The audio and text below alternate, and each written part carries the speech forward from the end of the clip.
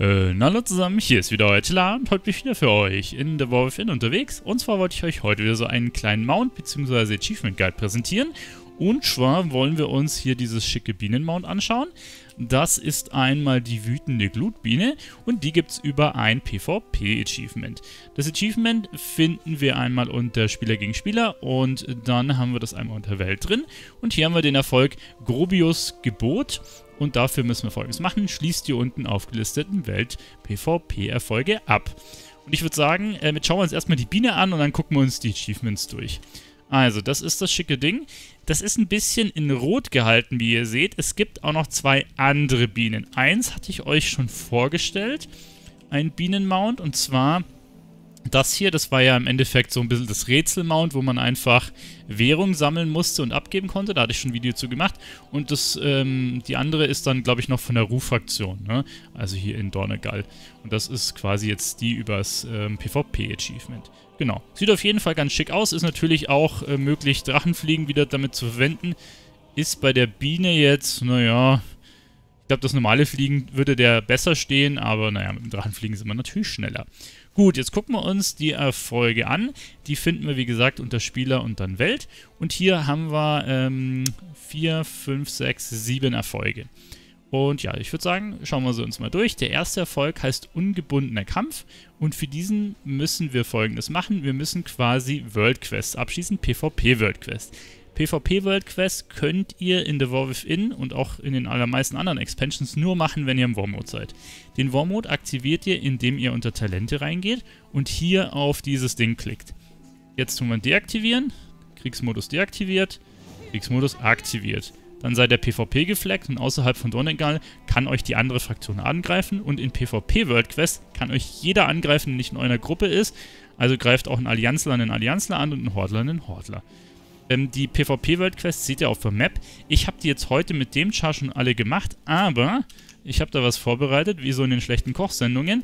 Auf meinem Twink sind die nur offen. Seht ihr, hier ist zum Beispiel eine, das sind immer mit diesen Schwertern markiert und da gibt es dann auch hier unter anderem PvP-Gear. Es sind eigentlich immer zwei Stück ab. Ähm, manchmal ist es so, dass irgendwie es ein bisschen rumbackt und man nur eine sieht, dann macht man die eine und dann, wenn man die eine abgeschlossen hat, sieht man die zweite. Es ist eigentlich in den meisten Fällen so, dass die beide in einem Gebiet sind. Also jetzt zum Beispiel hier dann wahrscheinlich beide in der Insel von Dorn. Ab und an sind die auch in unterschiedlichen Gebieten, aber meistens sind sie im selben. Und das sind, wie gesagt, ähm, sind quasi täglich immer zwei Stück da. Die sind auch nur für den einen Tag da und switchen dann wieder auf die nächsten. Also ihr könnt relativ schnell das Achievement vollkriegen, indem ihr jeden Tag die macht. Die könnt ihr auch, wie ihr seht, ähm, ich bin hier auf dem Stufe 70er Char, die könnt ihr auch mit dem Stufe 70er Char machen, aber Obacht, das Gear ist trotzdem Stufe 80 und ähm, in der PvP World Quest kämpft jeder gegen jeden und da habt ihr mit dem, Stütz, äh, mit dem Stufe 70er Char definitiv das Nachsehen.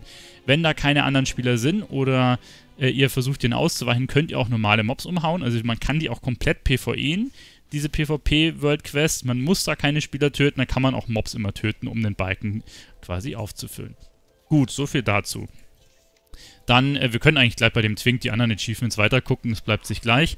Äh, die sind ja eh alle Battlenet-Account gebunden.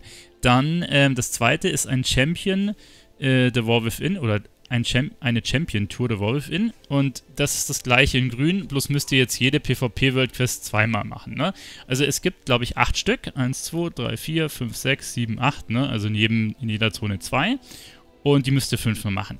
Ihr könnt die, wie gesagt, auch mit Twinks machen. Also wenn jetzt am ersten Tag die beiden hier ab sind, könnt ihr mit 5 Chars die machen und mit 5 Chars die, dann habt ihr das direkt schon abgehakt. Ne? Also müsst ihr nicht warten, bis dann Videorotation rum ist, sondern könnt ihr halt direkt mit mehreren Chars abarbeiten. Dann ähm, haben wir das nächste und zwar sind es 1, 2, 3, 4 Erfolge. Die heißen auch immer wie die Zonen. Insel von Dorn, die schallenden Tiefen, dann Heilsturz und Ashkahet.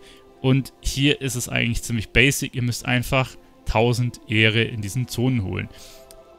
Das ist eigentlich eine relativ simple Sache. Worüber kriegt ihr Ehre? Naja, wenn ihr andere Spieler tötet, kriegt ihr Ehre. Das könnt ihr machen, bringt aber relativ wenig. Oder wir machen eins der Sachen, die jetzt noch dazukommen hier in den weiteren Erfolgen. Ähm, wir können nämlich unter anderem äh, quasi Airdrops holen und diese Airdrops sind ähm, auch in einem Erfolg drin. Der hat jetzt zwar hier mit nichts zu tun, aber der, die sind auch quasi in den Welterfolgen drin und das empfehle ich euch. Und zwar, wo haben wir es? Ähm, hier, genau. Öffnet 25 Kisten mit Kriegsvorräten in der War of In im Kriegsmodus. Äh, dazu habe ich auch schon ein Video gemacht. Wie läuft das? Es fliegen alle 18 Minuten im War-Modus so ein Flugzeug drüber, das steht auf der Map und das lässt dann eine Kiste runter.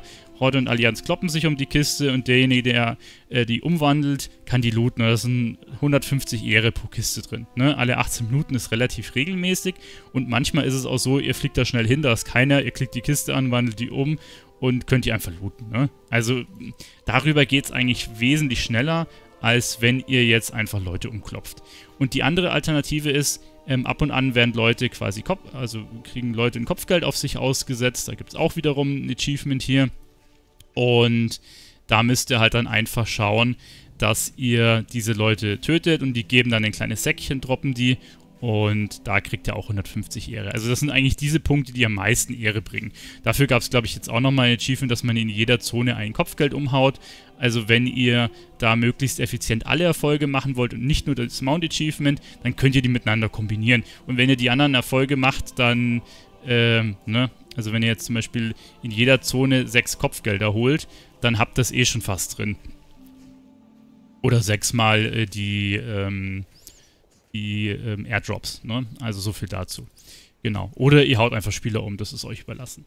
Und das letzte, was wir jetzt noch haben, ist zündender Kampf. Und für zündender Kampf müsst ihr 20 Mal die ähm, Daily Quest oder die Weekly Quest ist es, Funken des Krieges holen und abschließen. Und das ist einfach eine äh, Weekly Quest, die ihr in Donegal auf den Koordinaten 58, 75 holen könnt.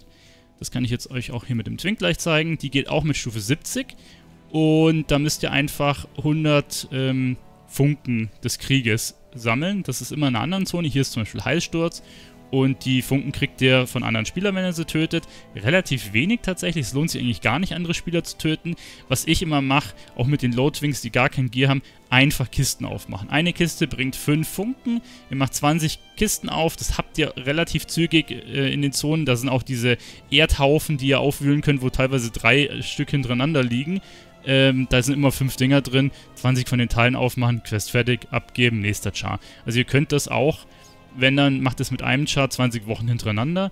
Oder ihr nehmt mehrere Chars und dann könnt ihr auch mit 20 Chars das in einer Woche machen und dann habt ihr es auch fertig. Ne? Also das ist quasi da ein bisschen euch überlassen, wie, äh, ihr, wie hardcore ihr das farmen wollt. Ich kombiniere das mit den Berufs... Ähm, Berufscharts, denn Berufswissen droppt ja teilweise auch aus den Kisten raus und dann kann man das gleich schön miteinander kombinieren. Also so habe ich das zumindest gemacht. Genau. Und damit haben wir dann alle Erfolge, also quasi fünfmal alle Worldquest machen, in jeder Zone 1000 Ehre holen und die PvP äh, Weekly 20 Mal abschließen. Und dann habt ihr quasi euer Mount und ja, das war es eigentlich im Großen und Ganzen. Das, was am längsten timegated ist, sind quasi die ähm, PvP World Quest. Ne? Manchmal ist dann eine irgendwie 5, 6, 7, 8 Tage nicht. Das, die haben keine feste Rotation, die sind ein bisschen random. Also da müsst ihr ein bisschen gucken, dass ihr die am besten täglich mal abklappert. Und sonst ist das eigentlich ein relativ einfaches Achievement. Yuji, dann wünsche ich euch viel Spaß beim Nachfarmen und dann vielleicht auch mit eurer schicken Biene. Und wenn sonst noch Fragen offen geblieben sind, schreibt die gerne in die Kommentare. Ich verabschiede mich an der Stelle. Euer Tila, bis zum nächsten Mal. Ciao.